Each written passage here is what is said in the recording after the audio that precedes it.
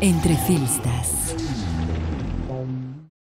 Estamos de regreso aquí en la cobertura especial que ofrece Canal 7, la industria creativa de los jaliscienses. Y bueno, estamos aquí en la Expo Guadalajara. Eh, a mi lado, Gabriel Bauduco. Él es escritor, periodista, sido editor de revistas muy célebres. Y bueno, ahora pone el dedo en la llaga con este libro que es La revancha de los cursis que edita Vergara. Bienvenido, Gabriel. Un gran descubrimiento. Ya conocí este lado tuyo como entrevistador, como editor. Me has editado a mí, de hecho. Eh, bueno, Gabriel es, es, es, un gran periodista que además llega al fondo del fondo con sus entrevistados. Ya por ahí eh, le decía eh, Nicolás Alvarado que a él le importaban más las personas que los personajes. Entonces. Es verdad, ¿cómo te acuerdas de ah, eso? No, bueno, claro, por supuesto. Es que cómo olvidarlo. Pero bueno, bienvenido, Gabriel. Gracias. Y bueno, yo quisiera que comentaras con el público, porque a lo mejor te hemos conocido más como periodista, ¿no? En tu lado entrevistador o editor o tal. ¿Qué pasa con la revancha de los cursis que realmente pones el dedo en la llaga? Eh, pues le das su valor a, a, a, esta búsqueda más sensata, más sensible de los seres humanos, a valores que están un poco deteriorados, mal vistos, sí. el perdón, la piedad, etcétera. ¿Cómo surge escribir la revancha de los cursis? Bueno, pues digo, solo cuando uno está en llagas, este, que no en llamas, este, puede, puede escribir algo así, pero en realidad fue más bien un ejercicio muy raro y muy difícil para mí porque es el primer libro que escribo en primera persona, ¿no? A pesar de que es el quinto publicado, es uh -huh. el primero que escribo en, en, primera persona. Uno está acostumbrado como periodista a escribir siempre, a hacerle preguntas a los demás, pero pocas veces a publicar o a permitirse a dejar que los demás vean las preguntas que uno mismo se hace. Uh -huh. Y ese me parece que es el, eh, fue el desafío más fuerte de escribir este libro. Eh, fue lo más complicado, lo más doloroso. Yo siempre digo que tardé más tiempo en todo lo que me arrastré hasta el escritorio que en el tiempo que tardé en el escritorio de escribirlo. Básicamente porque fue un proceso muy personal, muy largo, eh, y después escribirlo fue fue más bien como la conclusión de ese proceso. Uh -huh. Ahora, ¿es una, un libro autobiográfico? No. Es, es más bien una suerte de cúmulo de preguntas, confesiones. Creo que eso es más. ¿Pero qué entendiste tú del libro? Que me interesa más eso. Yo quiero destacar que eh, Gabriel hace muy claro, pone muy claro en este libro que él lo, lo, lo, que hace más que responder preguntas es hacérselas, ¿no? Sí. Y en buena medida el arte es eso, es esta capacidad de hacerse preguntas. Por ejemplo, la felicidad misma. Eh, Gabriel nos habla de los equívocos que entendemos por felicidad y a veces en esta insistente búsqueda de la felicidad que tenemos todos. Porque nos pues dicen que tenemos que buscar la felicidad, Exacto. pero nadie nos dice para qué. Claro, y se puede volver como una zanahoria que no alcanzamos Exacto. o una obsesión que nos impide Totalmente. disfrutar lo demás. Entonces, este es un libro para la literatura, para las letras, para el testimonio, pero también para la vida. Cuéntanos, eh, ¿qué desencuentros has tenido tú con las imposiciones de lo que es ser feliz, lo que es ser exitoso? Bueno, básicamente esto que digo, ¿no? La gente te dice, tienes que ser feliz, tienes que ser feliz. Y nadie te dice para qué. ¿Tú, ¿Tú sabes para qué quieres ser feliz? A veces es más para que digan, para que parezca que llegué a la meta. Wrong. ¿Ves? claro, está Exacto. Mal. Es para que los demás crean que eres exitoso, porque en realidad la felicidad parece ser como un medidor de éxito, ¿no? Y no necesariamente, hay gente a la que le va increíblemente bien en casi todos los aspectos de su vida y resulta que la felicidad no está del todo presente ahí. Y la otra cosa es que hay gente que suele preguntarse, tengo un buen trabajo, tengo una familia, tengo una novia que me gusta, tengo mil cosas que aseguran que soy feliz. Cuando en realidad puede que la felicidad no sea el postre, sino el aperitivo. Claro. Sí, puede que cuando eres feliz tengas el gran trabajo, cuando eres feliz consigas a la chica o al chico que te gusta, cuando eres feliz este, te vayas de vacaciones, cambies el auto y los demás entiendan que eres feliz, no al revés. Así Uno es. no puede mostrar a los demás una felicidad que no tiene, eso es casi imposible. Y, y se vuelve una competencia que además no tiene fin y es como eh, insulsa, ¿no? Es absurda, es, nos Sí. perdemos de lo mejor quizá por... Y la otra cosa también es que hay como una serie de errores todo el tiempo, ¿no? Este vivimos en un mundo que yo digo que se- está desarrollando un cinismo prácticamente rampante, Rose.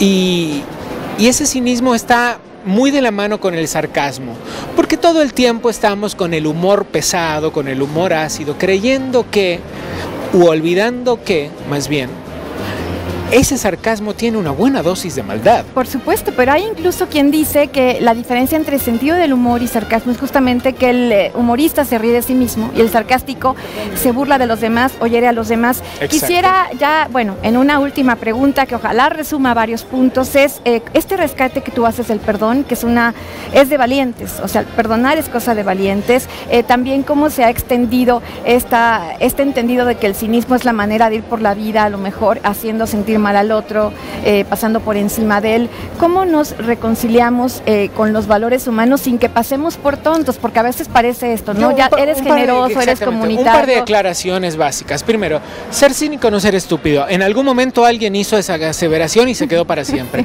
Cinismo y estupidez no son la misma cosa. La otra de las cosas es que no, no es cierto, no hace falta ser valiente para perdonar. ¿Qué pierde uno? ¿A qué tiene que enfrentarse uno para perdonarle nada a nadie? Ok. ¿Me explico? En realidad el perdón es como dejar ir cosas, pero la otra cosa que hay que tener en cuenta es que esto, que esta gran eh, conversación que parece una conversación sobre un libro de autoayuda, no lo es. No, no, claro El libro no es un libro de autoayuda, el libro es un libro que pone sobre la mesa una serie de preguntas que son las que nos hacemos todos, todos los días de la vida, pero que ocultamos y ocultamos y ocultamos porque este mundo nos empuja todo el tiempo a olvidar lo que nos incomoda. Es muy interesante. Yo invito a que vean este libro que es La revancha de los cursis de Gabriel Bauduco, que es eh, sobre todo hablar de lo humano que hay en todos nosotros, darnos chance, escucharnos, no andar ahí nada más con lo que nos indican que tenemos que hacer. Y en su caso que él eh, rompió con un estilo de vida que tenía que era para muchos, supongo, muy feliz y muy cómodo, con una seguridad de un trabajo muy exitoso, pues bueno, él, eh, él decidió romper con esto para escucharse, para porque era mayor la tristeza que le provocaba este éxito y lo importante y con lo que cierra este libro y quiero cerrar esta entrevista es que no porque él no sepa dónde va significa que no está yendo a parte alguna, o sea, a lo mejor él rompió con esta rutina, pero lo que sigue puede ser hasta más excitante y mucho más promisorio. La duda es un gran motor. Ahí está, la duda es un gran motor. Muchas gracias Gabriel, A ti, hasta Rose. pronto. Revancha de los cursis. Aquí Está. Gracias. Bueno, aprovechando de esta fiesta, se encuentra con nosotros Mariana Romero. Ella es, por supuesto, de Librerías El Sótano. Ayer ya platicamos un poco sobre los proyectos, pero hoy vienes a recomendarlos un libro muy especial. Se trata La verdad sobre el caso Harry Kebert de Joel Dicker, una novela policíaca que, por cierto, tú ya la leíste. ¿Por qué recomendarla? Bueno, es un thriller muy interesante, la verdad, sobre el caso Harry Kebert. Eh, además, el autor es muy joven, a sus 28 años, esa es la segunda novela que hace, que ha sido un, este, pues un gran éxito literario. Y aquí vas a buscar quién mató a Nola, vas a encontrar a los personajes, que uno, el principal, que es Marcus Goldman, que es un escritor.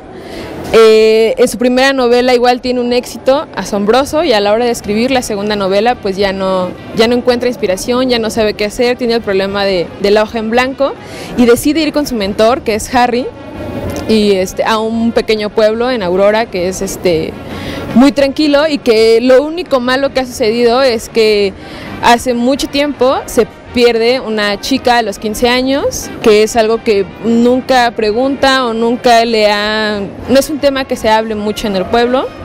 Además, Harry, que también es un gran escritor, es muy amado durante con toda la gente del pueblo. Entonces, de repente un día encuentran este, el cuerpo, los huesos de una chica de 15 años en el patio de Harry. Entonces, lo acusan de asesinato, lo acusan de, este, de haber matado a Nola. Y entonces, Marcus, en, en ese afán de querer protegerlo, empieza a investigar y de ahí se empieza a inspirar para escribir la segunda novela. Oye, qué interesante. Hay que decir que, bueno, esta publicación contiene 660 páginas. Sin embargo, tú ya comentabas que en el momento que inicias leyendo este libro, bueno, pues te va involucrando, te va envolviendo y finalmente hasta el hasta el último capítulo donde te das cuenta, pues quién quién mató, ¿Quién, quién la mata? Que además es te sorprende.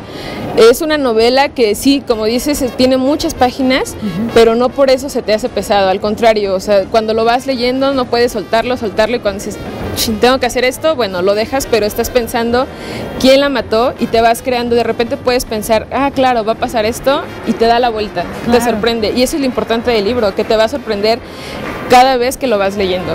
Bueno, pues ahí está, lo pueden encontrar con ustedes también. Ajá, por lo encuentran supuesto. en nuestro stand. Eh, también tenemos, pues, es importante que visiten nuestra página de internet www.elsótano y que nos busquen en las redes sociales. Bien, ¿y están en qué? En stand. Eh, estamos en el stand KK10 y KK12. Bueno, muchas gracias No, Mariana no, Romero por estar con nosotros.